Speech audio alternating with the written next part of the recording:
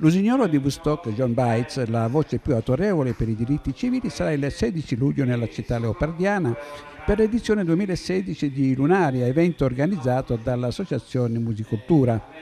Il grande colpo realizzato dal direttore artistico di Musicultura Piero Cesanelli è stato presentato ad Ancona nel corso di una conferenza stampa presso la sede della Regione Marche. Sì, questo grande appuntamento che abbiamo appunto annunciato ben sei o sette mesi prima perché non era mai capitato che una star mondiale a questo livello venisse a trovarci sul palco di Lunaria Recanati in piazza Leopardi. E dopo aver avuto in tutti questi anni i maggiori rappresentanti, i più autorevoli rappresentanti della canzone d'autore italiana e, e, dopo la presenza di Salomon Burke eh, abbiamo il piacere di annunciare che il 16 luglio avremo John Bites qua, con tutto quello che comporta John Bites, con tutte le sue lotte per i diritti civili, con tutti gli album registrati, con le collaborazioni storiche che vanno da Bob Dylan ai Beatles. Insomma, sarà un evento veramente mondiale. Per Musicultura si tratta di un grande riconoscimento per il lavoro che l'associazione ha fatto in questi anni. Sì, è un riconoscimento anche per il lavoro effettuato in questi anni da parte di Musicultura, eh, che organizza appunto Lunaria artisticamente, e che è in piedi ormai da più di vent'anni con questa manifestazione che tende appunto a focalizzare, a mettere in risalto quella parte di musica che dà anche un, un aspetto eh, da un aspetto fondamentale anche alla parola e, e, infatti in questo tipo di concerto troveremo una John Bites che colloquierà anche con il pubblico e nella nostra lingua tra l'altro. John Bites è la voce più autorevole per i diritti civili. Sì, questo, lei sempre, è stata sempre sulle barricate per eh,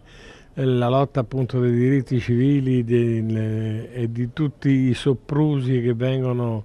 eh, effettuati a discapito appunto del, di alcune fasce di umanità. Eh, di conseguenza sarà presente con il vecchio repertorio che tutti conosciamo, il repertorio pacifista,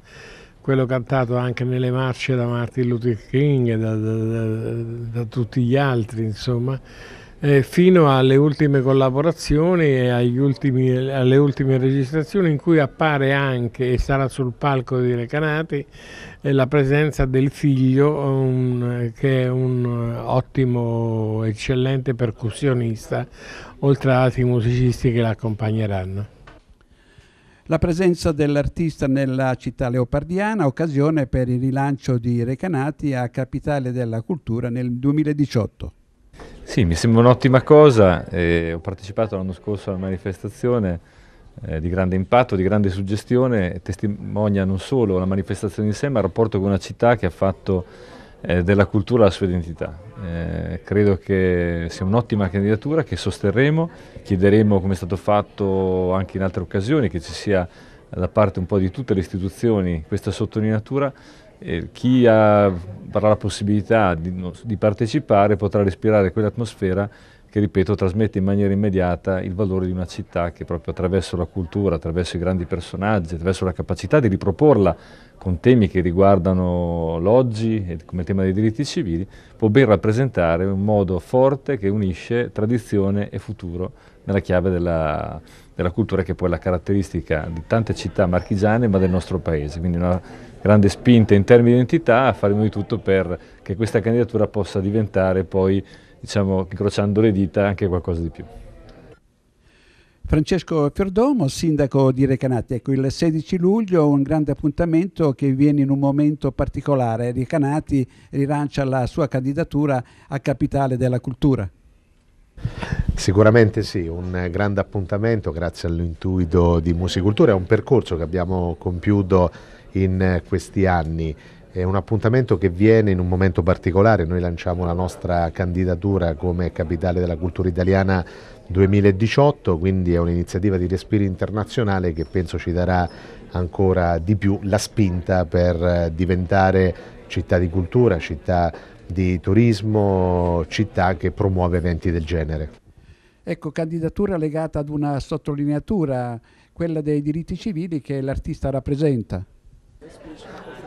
Sicuramente quando parliamo di cultura parliamo di educazione, parliamo di un percorso di crescita individuale e collettiva, quindi è una personalità del mondo della musica ma che ha un valore simbolico straordinario e quindi veicola quei messaggi che poi sono eh, alla base di una convivenza civile che sia improntata al rispetto e a un sentimento positivo nel, nei confronti degli altri.